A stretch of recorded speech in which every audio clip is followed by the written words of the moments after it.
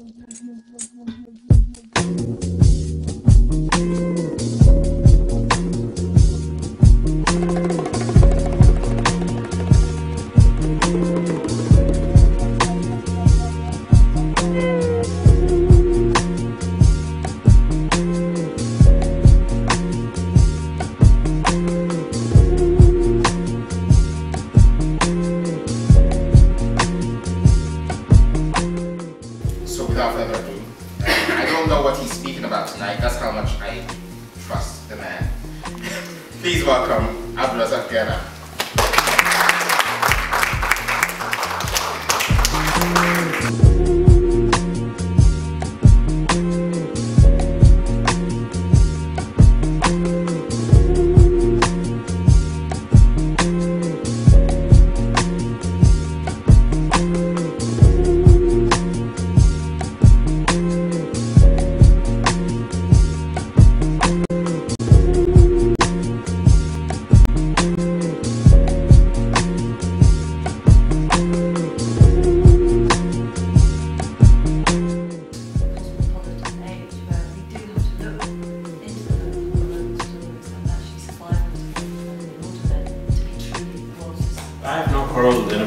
Whatever language they want to write. These choices are not straightforward. They're not, in fact, often choices at all. Um, And that's how I tackle it. So yeah, that's, that's my answer. That's a new book right there.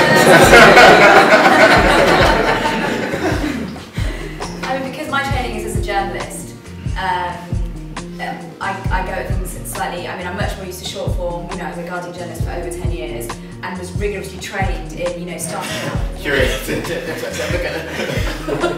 Thank you. so, um, you know, I've kept it very simple in terms of introducing the sessions. Um, this is it's really about the I had my words down three weeks before the show.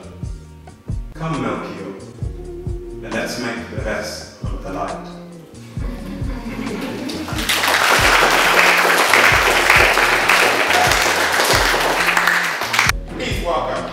Warsan Shire.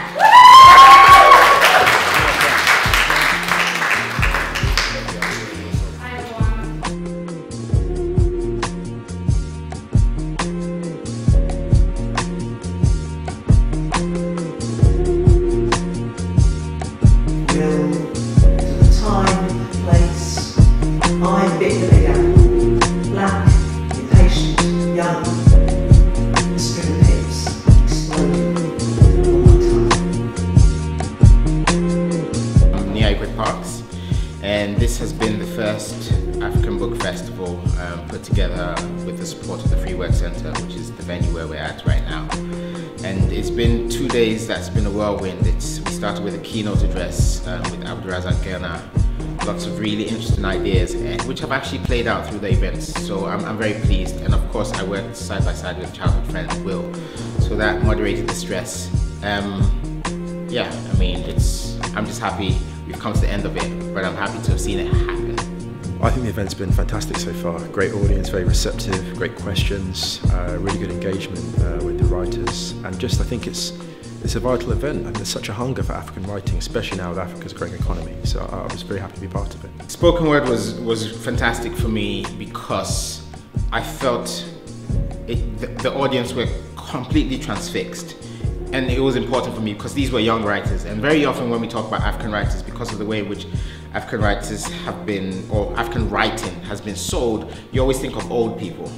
And so I was really keen to have young people reading, and these were quite young people, and people were really astounded by the depth and complexity of the work, as well as its accessibility, the entertainment value of it. So that was great. But for me, the highlight was Abdulrazak Gurnah's keynote address because I, I asked him to come for that because he had the accumulated experience of all the kind of generations of African writing, as well as being engaged with the new writing. And, and I think some of the things he talked about, the tensions between different cosmopolitanisms, were really interesting for even putting um, the work that we saw here in context, but also some of my own work as a writer.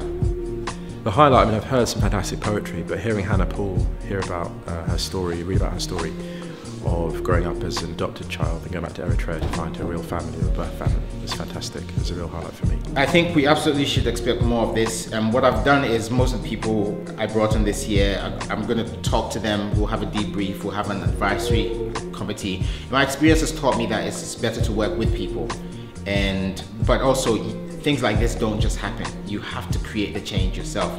And as I said on the first day, this is about controlling the construct. We all know African writing or African writers is a construct. We all come from much more complex countries than sometimes entire continents. But by us controlling it, by us saying, okay, it's the African Book Festival, we can bring people in here to experience that diversity without necessarily saying don't ever use the term because it, it's not about that. The construct exists, so we have to work with it, but we have to control it. It can't be controlled by other people. So this is the first of many, and I'm going to be bringing in other people to help curate, younger people to help curate, and so it will it will be the same festival, but it will evolve through the people involved in the production of it.